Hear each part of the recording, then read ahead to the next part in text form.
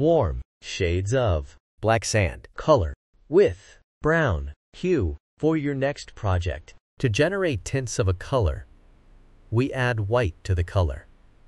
And tints creates light and exquisite emotions.